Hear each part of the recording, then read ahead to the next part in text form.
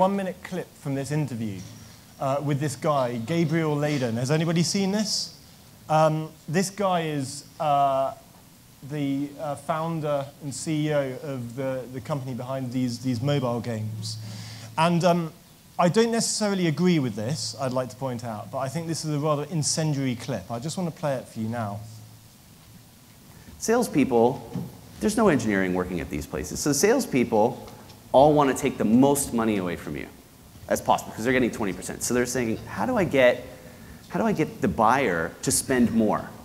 Who cares whether it actually works for them? So let's be clear, when you guys are buying your ads, you're not going through agencies, No. given your dis- You, you can't. You're not a friend you, of the you, you can't. You, you can't go through them because they're not incentivized to do the right thing. They're incentivized to spend the most money possible. The publisher, who is incentivized to not quantify their audience, and the agencies and the publishers work together in that. And the buyers, and if there's any buyers in the audience, they'll all agree. Buyers are universally unhappy. Talk to any buyer. Every buyer is unhappy with the market because because there's a, there's a huge, there's a push to avoid quantifying their media. They want to actively avoid pricing their media. They want to set prices out of thin air and to say, I have eyeballs. And the buyers, digital, digital breaks that all down because it's all trackable. You don't need to do that anymore. Um, so just a short clip there. Now, I do not, I do not condone or condemn this, but he's basically saying there's a massive racket going on, and we're all racketeers, basically. So I think, I think we should discuss this in a bit. Um, the last thought start I just had was on gafferization. Any, uh, you, I think that should be a word, shouldn't it? Gafferization. Um, because there's obviously a lot going on in the digital world at the moment. There's a lot of pressure from uh, these companies here on TV. And I think I just, um, I got accused, by the way, of Google bashing yesterday. I'm afraid I'm going to do it slightly again.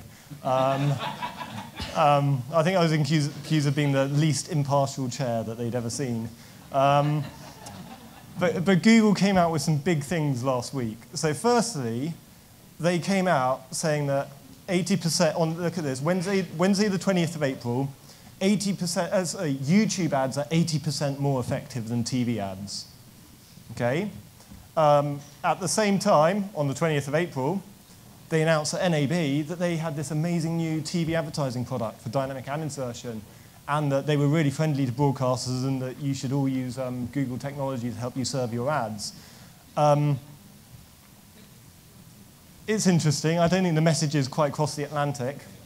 Um, and there's a picture of a favorite Batman comic of mine. I don't know why that got in there. Anyway, on to, um, on to our panel. So uh, we've got an illustrious panel here. Um, we've got Stuart from Bell, Alexandra from Starcom, we've got um, Greg from Corus, uh, Julie from M&K Media, and of course Michael from Mediacom at the end there. Um, so, like I said, I'm, I'm hoping, actually, I'm going to stand down here. That's better, isn't it? Sorry, we're we're on a level now. Um, I'm going to, you know, we're going to hopefully get you guys fighting in a few minutes. But um, to start off, I thought I'd ask some easy questions. I want to start off um, focusing on TV, the good, the bad, and the ugly. Um, and I thought I'd start off with you, Julie, Julie actually. Um, as as an agency person, you're, you're um, a kind of um, a more niche agency, aren't you? A kind of more niche, kind of bespoke agency. I thought in a way that maybe you'll be the most impartial voice. And I want, I want to ask you, um, what, what do you love about TV? I love TV, and in fact, we're spending more money in TV than we ever have before. We're bringing more clients into TV. and that's because TV is a wonderful playground. And I'm talking not just the broadcast elements, but also all the other things the broadcasters bring. So we can go to our smaller clients and focus our dollars with one or two key suppliers and come out with a wonderful integrated program with the TV, with the digital, maybe with print, maybe with outdoor, depending on the supplier. And the bottom line is we're getting results, results, results. We're seeing plus double digit increases for many of our brands. Those clients are not just, you know, they're starting with one brand and it's dominoing now. One of them is going to be in TV with five brands next year. So we're really excited about that. So it's results. So, Alexandra, what, what would do, what do you think about TV? Would you agree with that, or Um, well, look, I'll give you a slightly different perspective. I'm a, I'm a planner at heart. I, um, I didn't come into the, the media business either from the buying track or from the traditional agency track. So I sort of take a, I think we take a very neutral view as well. Um, so I think one of your panelists from Group M, you know, talked about the fact that television is still the most efficient way of getting pretty dynamic reach, and, and we see that across many of our brands. So I, I believe that that's true.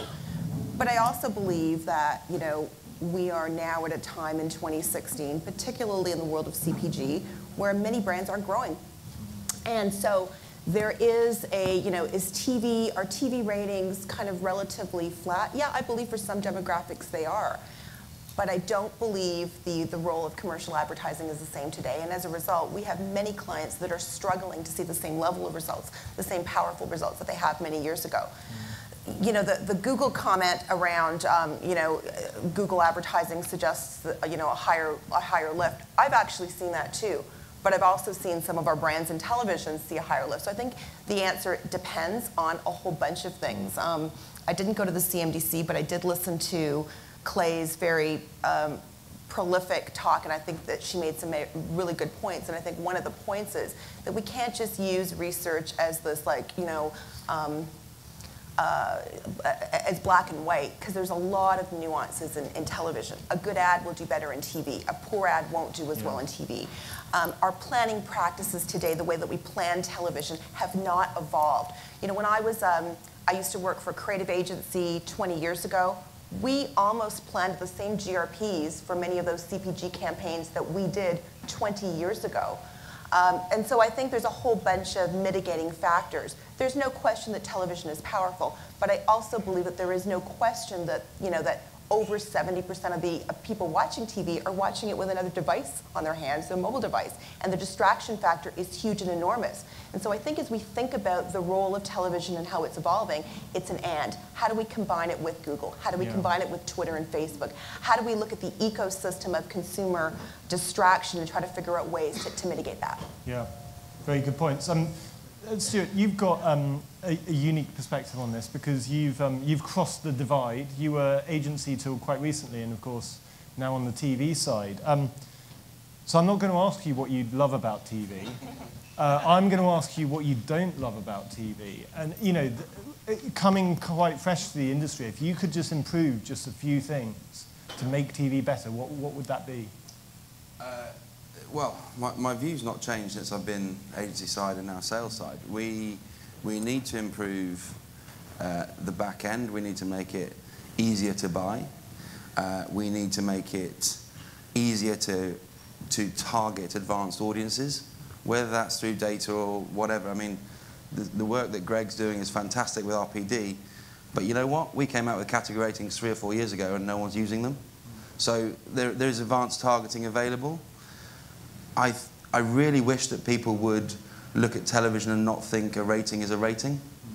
Because to your CPG example, they might be buying the same amount of ratings, but the CPM is way cheaper and we're dissipating that onto smaller and smaller audiences. You know, CPG clients have, have gone away from primetime television, which is where their heartland was. If you you know, if you're going to build brands, you do it in primetime television. So but I think we have to help people do that because we have to show the outcome. There was a very good point made yesterday about why people are shifting ad budgets, and it's, and it's not because TV's not working, it's because we're not showing it's working. And, and the, the digital number wangers are kind of coming out with these almost direct results of click through and whatever, which may or may not result in the absolute outcome that you're looking for. Yeah. So I think we, we have to get measurement better. We have to get our processes, Neil said, and I agree with him, that we need to get our, our just our back end and make it easier. And we need to start talking about the outcomes and how we properly plan television. Totally agreeing with Alex. I mean, I, I think that was, that, that, was highlighted in the, that, the video of that Gabriel, Gabriel chap. I mean, I think, my personal opinion, my totally non-impartial opinion, is that uh, he just doesn't understand brand advertising properly. But, um, but there is that difficulty between the last click attribution stats or you know, direct response digital advertising and branding advertising on, on, on the, the TV. Um, I mean, um, Greg, would you like to make your comments on this as well? You know, what, what, what do you think could be most improved about TV? You know, I would say I'll turn it around just a little bit and just say, you know, I, I'm an internal optimist. I sort of have to be with my job, and um, I just think the attitude of the industry, I would love to see it be a bit more positive. Like I think we're all looking for what's not working, as opposed to let's look at what's working. And you know, as Stu said, and most of you know, we spent a lot of time over the last few years working on data. We spent a lot of time with Paul at Cablevision. We sort of modeled our model after that.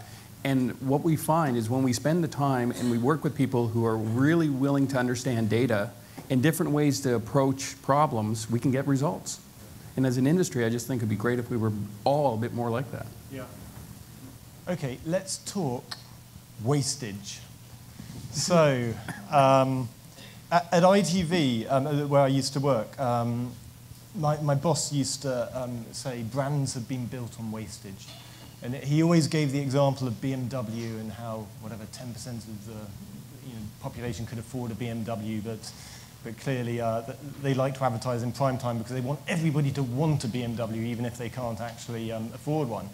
Um, do you, Michael, do you think that is a reasonable question, but yeah. Uh, but, but, do you think that's a reasonable point, or, or you know, is it shades of grey in the middle? I mean, uh, can I, I, brands be built on wastage? Is wastage a good thing, or would you prefer targeting? Uh, well, let's go to the theory. So Byron Sharp, How Brands Grow, for example, if you read that book, one of the main factors that, about how brands grow will be the fact of mental and physical availability. So it's about simple messaging, always having the mental availability of the brand, um, and being physically available. So on that premise, I'm not sure how you're defining wastage, but to me, whether you're a BMW, and an Audi R8, or Tide, mental availability comes through awareness. Awareness comes through mass reach. Mass reach comes through the biggest video screen today, which is television. So I'm not sure if I'm answering the question, but I'm just trying to frame the, the thought process. So television hasn't wasted advertisers' money. Um, to turn that around a little bit, I'm a systems thinker. So what, what is systems thinking, you're probably asking. So at MediaCom, we think about how everything's connected, and we're looking at how the system is all interrelated. So we're all here today to talk about television. I think table stakes for, is the ability for television to get its act together in terms of better data, so it can compete with digital, which has many problems with data. But how do we look in the future to say, how can you guys, TV guys, become systems thinkers and go to clients with business solutions. I'll give you an example. DR has been creating outcomes for 30 years. That is a television success story which probably is underutilized today.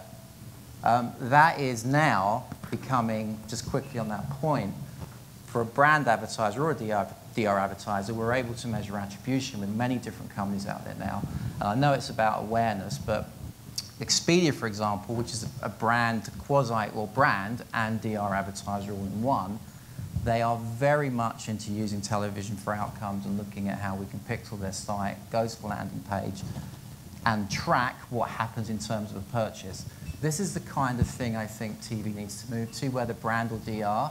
We need to start, you, TV people, need to start thinking about creating the ability to show not just the data's clean, and the data is wonderfully granular, what we have to get to to compete with the gaffs or gaffers is the ability to go to clients as a television product and say, we are fueling the system that create the outcomes.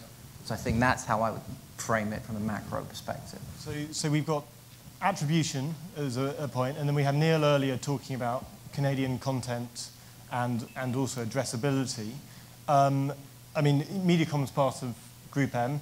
Do you think if, if the broadcast industry got those three points, would you, are you going to commit on stage in front of us to a 7% increase in TV spend? Well, I don't think it's fair to make me commit in front of 300 people to anything. Uh, I know Neil's buying the drinks downstairs in, in the bar. Uh, I, I, think, quite frankly, I, I, mean, I've done some, I'm talking to many advertisers. when you look at an agency, anybody under 30 works in digital. They are perform. They've grown up with performance, performance, you know, cost per click, cost per engagement, cost per uh, click-through rates, view-through rates, and in many cases, these things aren't leading to the outcomes, and, and many people are seeing that now that they thought for advertisers. Anybody over 30 is working in the TV department. So I, am not sure if it's that, if it's that simplistic. I, you know, I, I, do believe, and just to answer your question about, um, about wastage, so within our own company, we've probably done, um, in North America, over 50 tests with addressable. And it's interesting because not all of them work, but I'll tell you some examples. Um, overall, we have seen a 30% um, efficiency quotient in categories like financial services. So this makes sense. You know, if you're uh, with a bank and you want an upsell on a particular product, if all the advertising can do is eliminate you from, you know, a message, then all of a sudden you're saving 25% if there's five banks in Canada. That makes complete sense. We've seen that. We've also seen very targeted, contextually relevant messaging within the addressable space, um, increased effectiveness for our CPG clients, effectiveness. So uh, direct to sales, where we're able to measure it with companies like Catalina in the US of over 20%. The problem is we can't do that in Canada. And the problem is in Canada, on the digital side, where we are very active and very precise about how we're measuring some levels of, of outcome. We are seeing phenomenal results, but that doesn't exist in Canada right now. We are charter partners with Shaw and some other RPD programs, and we have seen for the clients that have participated in those, we can't reveal them, but we've seen phenomenal results. So the answer isn't or, the answer is an and. Addressable television will make the industry more effective. I do believe that that will lead to better outcomes for clients. I also agree with you with the brands that grow. You know, television is a top of funnel. Um, it's a top of funnel um, a means of communication. And so top of funnel means you're driving mainline awareness and yet we're measuring everything on sales outcomes. So we can't do that. We've got to decide. And some of those messages aren't meant for bottom of the funnel. Some messages aren't DR. And so I think that is where all of us as an industry can't just assume everything is either going to be TV or digital. There's a lot of, uh, a, a, lot of gray. And to add to that quickly, I'll give an example. So the point we're making is, you know, digital's great, but you can, you can optimize the point where you're suboptimal. An example of that would be Dell recently came back into TV after six or seven years because they realized by banging on about cost per acquisition, they were just being suboptimal and talking to the same people over and over again. There were people dropping off and their universe became nothing. So eventually, which is great, and these are the case studies we need to go to market with, we realized that you'd have to somehow create awareness for their products so they could start feeding the top of the funnel again, which they knew they had to do, and they, and they launched a new campaign to do that with some success versus just constantly getting so into the data, so into the acquisition modeling that they realize that they're just not getting any new prospects. They're just talking to the same loyal consumers who are, who are quite frankly dropping off. And yet, you know, for younger consumers, so one of the things that I think is interesting, when you look at who's watching television, you know, I have a, I'm not using my own, my own household as, as a consumer panel, but I have a 17-year-old daughter it's been 18 months since she's turned on her TV, yet she consumes a ton of TV and she consumes a ton of content. She's definitely consuming that on different channels. And one of those channels is YouTube. So I also think it, it depends. If you're buying a car and you're advertising on YouTube, it has to be but one of several uh, options. But if you're selling Coca-Cola to a 12-year-old or a 16-year-old or an 18-year-old, you probably need to think about that digital space and, and sort of consider it an and. Well, I, I think this, what, where this is going to, which is, I think, really encouraging, is we're actually talking about communications planning and role of channel, and which is great because there isn't one answer to everything, and I think lots of thinking has gone to, hey, where's the answer? There's the answer over there. I'm running into digital. I'm running into cost per acquisition. If you stop, if you stop advertising to your brand equity, cost per acquisition will get more expensive. It's a fact because you're not bringing any more people into the funnel and you're, you're, you're again ramping up your, you, you're basically taking off the low-hanging fruit and then going harder and harder and harder into cost per acquisition.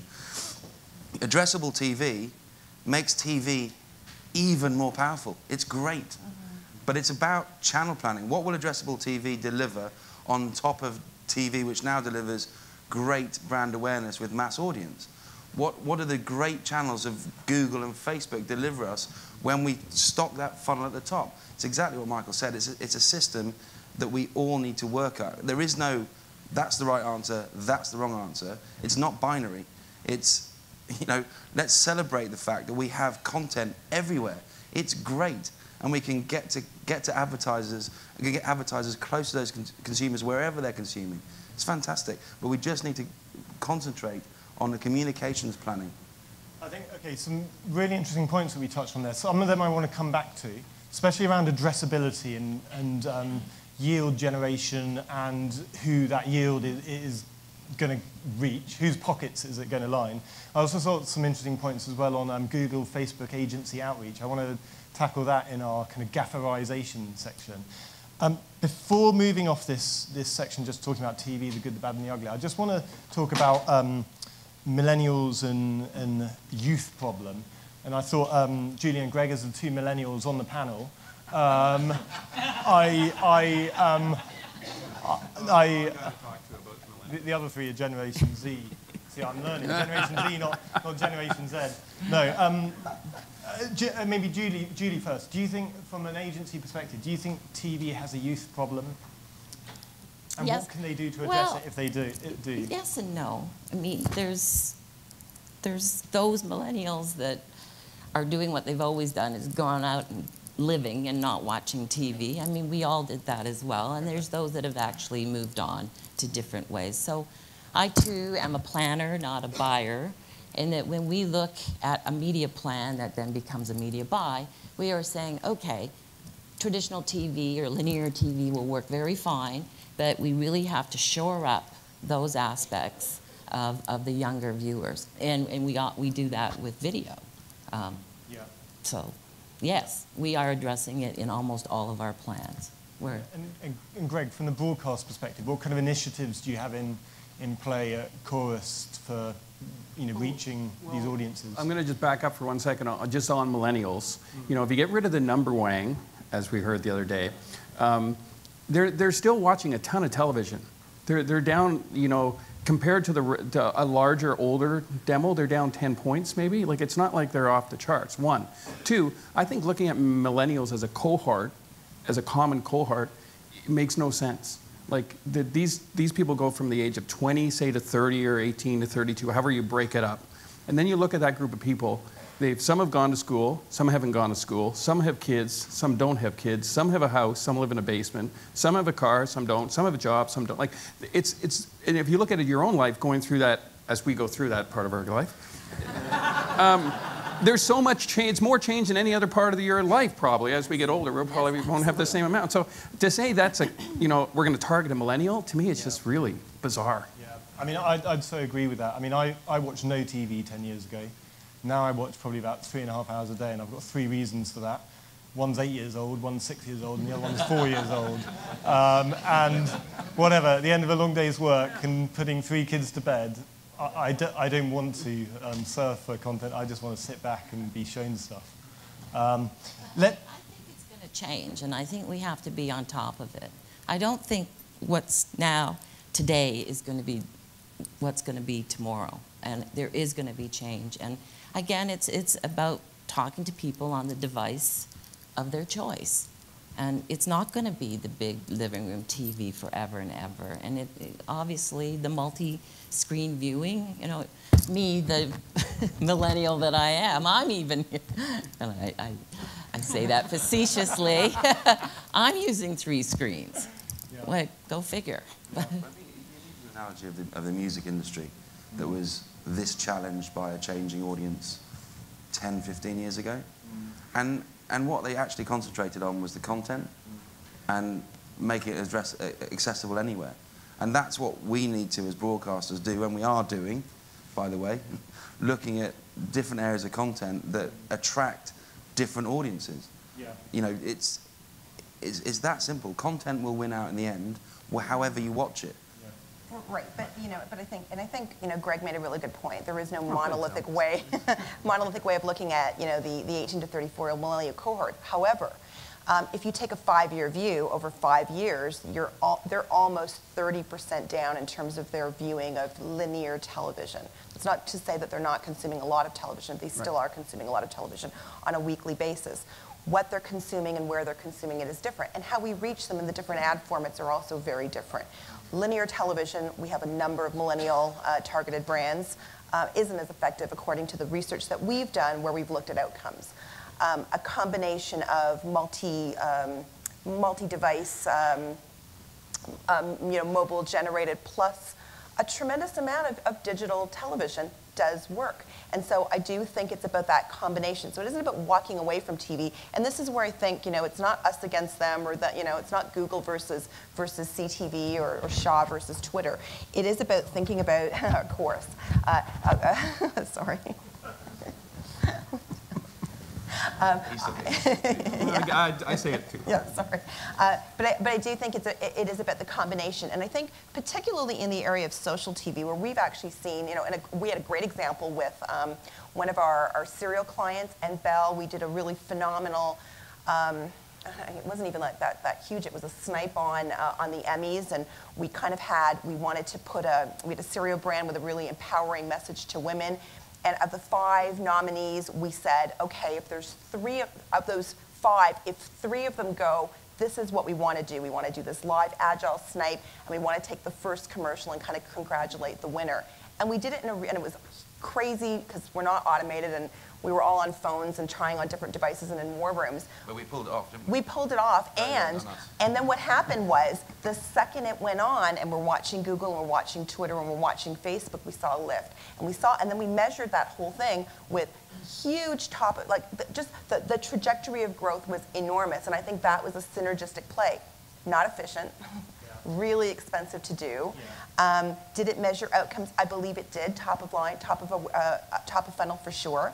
I'm still waiting on understanding whether that all that effort helped to drive outcome. We believe it did, um, but I do think that that's the future. And testing and measurement and more of that, more innovation around those combinations of TV and social, and the link between them is going to help us get stronger and better. Yeah, I couldn't agree more. I mean, yeah, that's my background as well. That's what I used to work on at ITV. Um, look, let, well, no, no, no but it, yeah. I, mean, I, I was CEO. People don't realize this, but I, I was CEO. It just wasn't, I haven't put it on my LinkedIn profile yet. Um, let's talk commercials. Um, so this is the bit where, you know, normally trading season goes on behind closed doors. Um, the panelists have all agreed today to actually do their trading deals in front of you right now in the next 10 minutes um, and, and uh, agree deals for the future of addressable advertising.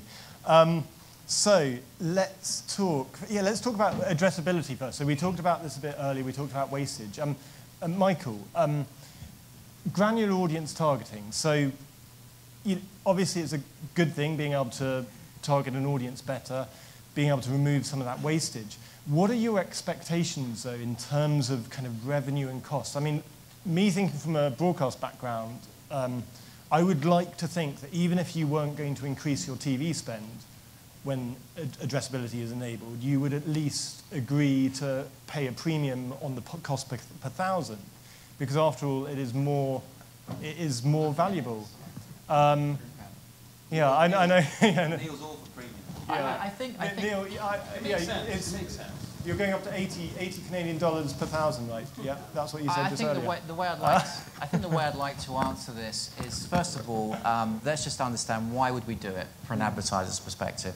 If I am, you know, obviously if I can target an R8 Audi potential customer at the, I believe, the postal code level through some sort of segmentation with their first party data, your data, third party data, and we could prove through modeling that there would be a lift of 3% or 1%, not baseline, but attributed to media, um, then we'd have to look at that equation. And if the cost per thousand went up by X amount, but overall that's just a small piece of the marketing budget, what is the outcome in terms of the business, to the revenue to the business? So it's a cost per thousand directly linked to a, a sales uplift, essentially. Because need to a- see a after all, that's what mar- uplift. marketing's about. I mean, that totally And that sense. may or may not be part of any agreement Yeah. between Group M, Bell Media, or Yeah. Or, or Rogers, whoever. But that, Yeah. that would be my, my thinking. I see. So by, that- Outcome based. by that, you're saying that there might even be some sort of outcome-based negotiation on price. Uh, Um, it could be at the client level, yes. Yeah. I mean, we'd want to see from a client's perspective what would it do for the business. I mean, the point of having data, and your previous speaker or two speakers ago, very good getting very granular data. We need it, but we need to see how it can influence a niche advertiser's business, not just for the sake of saying we can target well. To me, that's a so what. Table stakes. Target well, that's great, but what is it going to do to the business that didn't happen before through reach and relevancy, or through reach, mass reach? I assume from the broadcast perspective, um, Greg and Stuart, the, the, the challenge here is that it is expensive to implement these capabilities, both in terms of operations, in terms of technology, and it's difficult to do this just on the vague promise on a stage at a conference. Um, uh, yeah. Promise. I saw a big promise there. Okay. Yeah. Well, Neil was nodding. Yeah. Neil. The- the- it- it- as, as Michael says, it, it goes back to outcomes, and it, you know, if we're going to take money, then it's it's incumbent on us to prove the outcome, and we should do that. I mean, yes, it's probably going to cost more because the more you target, the smaller piece of audience you're buying. So yes, it'll cost more money, but you know what we're looking at here in television is the composition of audience. Right now, television in Canada is traded on about three audiences. We should trade it on eight or nine. That's what the UK do. And, and then the buyer has the opportunity to increase the composition of that spot that they're buying to that certain target audience. You know, what we talked about wastage, it's not wastage because it's very, when you get to, okay, I'm to I'm to laser target, you need to be pretty sure that that is actually the people that are buying your product. And I'm not sure that data in Canada or actually around the world is that specific on who is actually buying your product. Mm-hmm. I would challenge most brand marketers to say, well, those are exactly the people. You have to have people on the outside, people who are potentially new to the brand, people who are lapsed in the brand, being advertised to. Otherwise, your brand will shrink. That- And, and, and, and again, it goes back to the ecosystem. So do the targeting piece, great. But do the broad thing as well. Yeah. And we need to prove the outcomes, and we will. Yeah. Uh, and Greg, would you agree? Well, we, we have some, we've done a lot of work in this area, so we're now collecting data, just like I mentioned, you know, Paul's presentation, we, we're, you could almost put Corus across that whole thing, except we're doing it in 500,000 homes second by second. We've segmented it into 18 different audiences, and you can target those audience per show. And what we're seeing is the same things on a smaller level. So we have, first that in our TV ecosystem, that's our biggest growing area of our business. There's actual double digit growth there. And we're seeing new clients come into that ecosystem. So, having said that, we're also spending millions of dollars, and we have a dedicated team against it. Most of them are here today. Um, so, we're spending a lot of money. And I think the advertising community realizes that, you know, things like this, if it drives results, come with a cost. And, and, and Julie, what, what's your view on addressability? I think, given our client base, we, we have to look at both. We need the mass. We're always looking for reach. Reach is my number one concern most of the time, trying to get enough eyeballs or ears or whatever hearing or seeing my ads. But in terms of the bullseye target, the, the people with the highest propensity, I think always a tactical tier of addressability will, will really get our clients excited. And, and, and from what I've seen in the research coming out of the US, for the most part, there's more positive results than there are flat or negative. So I'm, I'd be happy to pay, I'm sorry, a higher cost per thousand for that. I'm used to that in all media, where the smaller the universe, the higher the cost per thousand. Mind you, I'd be tracking the, the everyday currency to make sure that we're stable. So I want it all. I want the addressability, and then I want the broad reach So too. it's totally tied into the whole currency issue, which is, I mean, it keeps on getting mentioned again and again. Is, is currency fit for purpose? Um, who wants to handle that? Uh, Is it fit for, I'll- Is a TV Yeah, uh, let me, let me start by just talking about, you know, just using addressable in an, in an interesting way that I just saw a, a, a really great US case. So the problem in Canada is developing creative for those micro niche targets with 36 million pop and just the way that our businesses track, I don't know how, how possible it would be to, to cut, you know, hundreds of versions of TV commercials. It's much easier to do that in, in module digital. But one of the interesting things with set-top box data is that if you are able to use the ecosystem of addressable to understand who's been exposed and who isn't, not by paying a super premium to buy targeted creative, but just to be able to add it to incremental reach is actually a really interesting way of doing it so that you know who's exposed. You can use addressable to drive incremental reach. Then your eCPM should be measured based on outcomes because the reach is higher. Theoretically, there's a higher level of conversion through the pipeline, and you measure that. I think that that level of sophistication comes at a price. It comes at a cost on our side on talent. It comes at a cost with our, um, our clients because they have to pay more for those kinds of services. And obviously, um, the cost of, um, of the ad unit is also going up. But at the end, it's going up because the outcomes are stronger and we can actually prove them. I don't think clients have an issue paying that. And I would say it's, it's, a, it's an and versus or. Like, I think we're on a, I'm a data junkie. I'm converted on it. Um, anyone that knows me knows that. And I think it's a, it's, it's a journey we're all on, the whole industry. And it's not a matter of turning on one type of measurement or turning off another one. What we're doing is we're using Numeris. We think it's an absolute the solution for Canada. Hopefully, we'll get some digital numbers in there with ComScore or with Numeris, however that works, but there'll be one currency we all can work on. But we're complementing that, or adding on to that, our own data. And, and so you can see indexes, but the actual planning, buying, posting is still on one common currency. Yeah. Okay, I want to cover one last topic on this before we get on to digital and gafferization. Also, I'm, I'm going to be turning to the audience in a few minutes, so please do start preparing some questions. This last thing I just want to talk about on commercials is around ad decisioning. Ad decisioning and yield optimization. So this is like, since I left, I left ITV about nine months ago, joined an ad tech company, and now ad decisioning and optimization has become my life. And um, a very exciting life, I should point out. Um, but um, the thing that I find fascinating is it, looking in Europe, especially uh, on digital I'm talking about, not linear for the time being, but digital is a stepping stone to linear. In, in Europe, we have some situations where the broadcasters are absolutely insisting that they will always control all ad decisioning. No matter how addressable it gets, they will control all ad decisioning so they can control the yield optimization.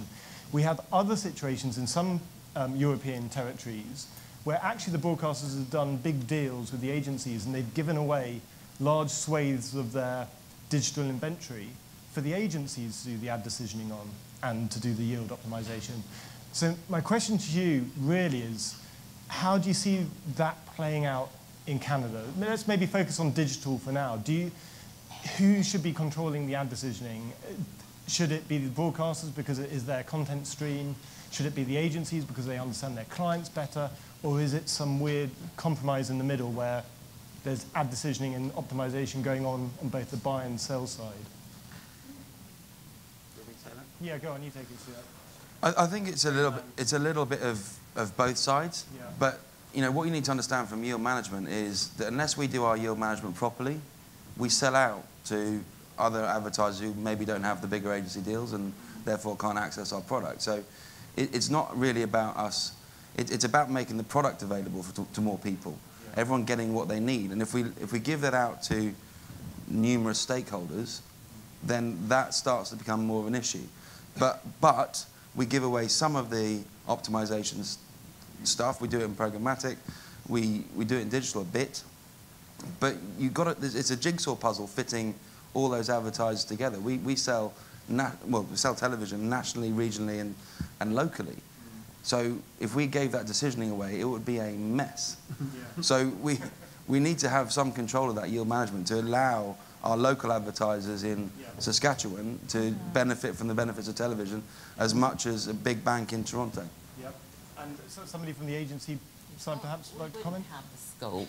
I mean, we are a small agency, Yeah. so uh, it, it it just wouldn't happen for us. And the other thing too is, most of our clients, we're working 90 days, 120 days out, so we wouldn't be able to, to see the big picture. We're, we're, we're, we're just working, you know, to a deadline all the time, and that changes from one day to the next. You know, quick buy it, quick cancel it, quick move it, you know. So we just wouldn't have the scope to be able to, to manage the, the peaks and valleys. Alexander and Michael, I mean, you- you're much larger agencies, much larger operational teams, is I think what I'm looking at, just to change the question, so just so I understand what we're talking about here, but I, I think it's really the important thing to us is again to prove the worth of a supplier, preferred partner, whatever, whoever it is in the system, Um, what we're interested in is the, is the capability to share insights or share, or share data, their data. Uh, it's not so much, there's no point just having a currency. We more and more to prove outcomes to clients because that's what CMOs expect. We're very much interested in how willing they, uh, they are to share data at various levels, just as table stakes. So uh, from a decision, you know, I agree with Stuart in terms of his situation, but in the digital space, um, in particular, we're interested in, in getting data uh, to make to, to prove that this this corporation company and their assets is is able to, to do something in the next step, outcome based. Okay, let's, let's move on to the last section. So just on a bit of gafferization on the side. What I've realized is how incredibly high quality broadcast advertising is. Um, you know, you don't have any kind of bot issues, you don't have viewability issues, the, the content is amazing, you know, it's a, a really emotional storytelling. And the thing that I've been struck, like, I, I don't know, the, you know, the pricing in the Can- Canadian market, but in the UK market, you get really crap ads, um, you know, just digital publisher ads that are nearly the same CPM as broadcast ads. So here's a question for you agency folk. Broadcast ads of, of ama- uh, amazing quality, should the VOD CPMs not be higher? Great question. Really good. I mean, it's, it's, it's an obvious answer, isn't it? That's an easy question. Well, I mean, broadcast, broadcast video, broadcast video is the premium end of, of video in the Canadian marketplace. The question is, is it as effective and does it reach the right audience? What we find, and this is just our agency, uh, but we've done some pretty extensive work, is that buying broadcast video only will not increase our reach. And so we have to look with a whole bunch of, you know, very sophisticated ways to manage fraud because it's a real issue. And look at where the eyeballs are. And there is no question, like this, this is where, you know, there is no question that YouTube has some phenomenal content. There is no question that many people, millions of Canadians share video on Facebook. It is a huge distribution platform. I mean, Twitter just did the, the deal with the NFL, and, um, and I guess Rogers is jumping on that too. Not, not in Canada. it's not checked. It's Not yet. not yet. But, but not in Canada. But, but, but, but regardless, but that's a model. But that's a model that we're watching because I think it's an interesting one. And again, I don't think it's a replacement, and I don't think it's about fear. I think I think we just have to. So I think my advice, and I've said this, it's not about. It's about establishing the benchmark for success. Who is really watching those shows? What are those shows worth? What is it worth to an advertiser? How do we partner better to um, to really understand in service of outcomes? And I think we've, we've all sort of talked about that so, today. So I would say at the beginning of any conversation, until you prove us, prove us otherwise, I would quote what a major CPG used to tell me. I don't care what screen it goes on, the CPM's not going up. Until there's a deeper conversation about what that can bring to, to the system. Because if you look at the digital video CPM, it's almost always higher. The CPM, not the CPP, the CPM, is almost always higher than prime time television. So the low CPM argument is false. It's not low CPM for online video. Google Preferred sells at what, 25 bucks? I don't buy anymore, but it was about 25 bucks when I was there. It depends, but yes. Cheap, you got it cheaper. I wanted to get Stuart going, so I just threw that, Neil- threw that response in. Neil's got a better deal than I did with Google Preferred. The, the, the broadcast CPM in primetime CTV is around $15. It's But- cheaper. But, but it may be a different audience. And so, you know, if you're looking at a quintile-based approach to buying television and you're buying your heavy users on one, and you're looking at your, you know, you're optimizing your reach on your lighter viewers on the other, and I think that's the, that's the, the I- right. I, absolutely Right. agree with you. I, I just hear this argument the whole time that digital CPMs are cheaper. That's a fallacy. They are not. I would also say that, you know, th- there's two sides to it in my mind. The one side is GAFA is, has made the broadcast industry be more accountable with data, like they do. But I think on the other side, they, they're not held to the same standards that we're held to and a whole bunch of other things, including quality of ads and pricing. And I'm, I'm not quite sure why that is, but I agree with Stuart that, you know, we'll spend hours or months negotiating our deals, and they will still, when you compare the CPMs that they're getting with lower quality video, they're higher. I I think you're missing the point a little bit with, with GAFA, and Thanks, particularly, it's okay, particularly with G, Google's in the house. I think Google are very good at, uh, are they in? I mean, Google are very good at, over there. Google, Google are very, very good. Hi. Google, um, Goo- Google are very good at copying television, and um, they've gone through the newspaper industry, the magazine industry, and they're sort of moving on to broadcast now. We see that in the UK. Google Preferred, obviously, uh, is being sold as a very robust reach type product. We're still checking it out, looking at the reach curve, looking at the algorithms, but effectively, from an advertiser's point of view, of course, we have to look at other reach curves. You can't just look at one. So for us, regardless of what the CPM is, it's about what, what is the incremental reach, and we're building the modeling, which isn't quite there yet with many advertisers, of looking at, you know, when do you jump, when don't you jump, beyond random duplication, actually getting stuff in the pipe to, to create empirical evidence. So I think Google are very smart in that, and I think for TV, the future of TV, you've got to understand how to work with these guys as opposed to be uh, arguing with them. I think you need to see what, what they...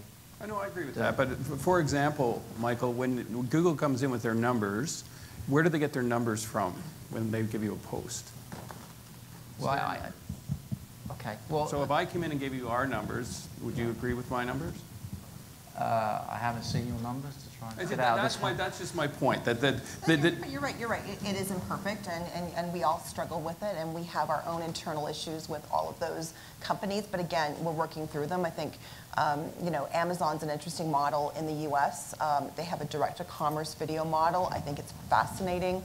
Uh, it's very expensive. I think they are um, doing some really sort of cutting edge and interesting things about sort of exposing people to video and then you know right after that or during that you're able to buy whatever it is that you're seeing because they're linking they're linking that back end i mean that that's a very interesting um, model i think that facebook also has um, facebook actually i think has done some really smart work on just video effectiveness in general that's helped the whole industry rise. And so I look at TV sometimes and I kind of wonder why is it that we're, we're you know we're always debating price. It's like that that's the only thing instead of talking about and I think you you bring up a really good point. Why aren't we talking about what the positive aspects that TV can bring? But then lay that out in a way and we typically don't see that as much as we would like to.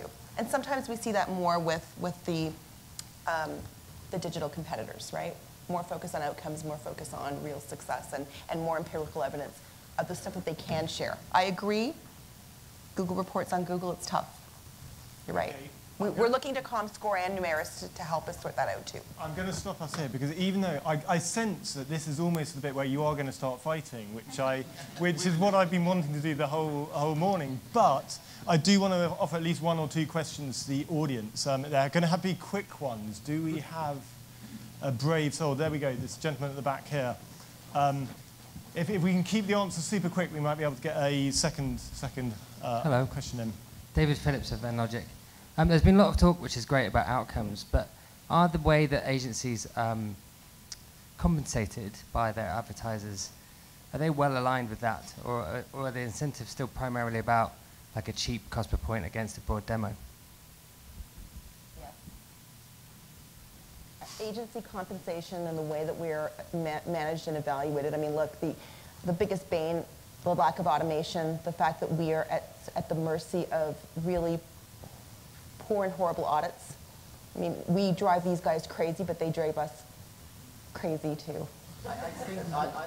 Specifically from MediaCom's point of view, um, we look at a range of KPIs. As I say, our, our process is systems thinking, so we look at beyond media, but we will be judged on communications, and there will be the opportunity to be rewarded by our clients on how we've moved the communication needle through analytic measurement. So we are moving to that type of modeling, and that's why I'm so keen to talk about proving outcomes versus media executions. I did like your point, Alexander, there. I, I totally agree. The less uh, clients who make us audit ourselves, the better. You know, we- we'd be, we, we'd be so much better placed, honest. Um, it's actually an elephant in the room. The, the, the, the measurement and audit of TV price in Canada is a joke. I mean, it's, these guys are. The, the, these guys are held to things that just, are, are, at best, slightly wrong. Yeah. Right. Okay, um, I'm being given, um, uh, Justin's going to kill me in the break signs there. So that just leaves me uh, to thank our panel. I think the, this morning's debate has been absolutely great. Thank you. Thank you very much.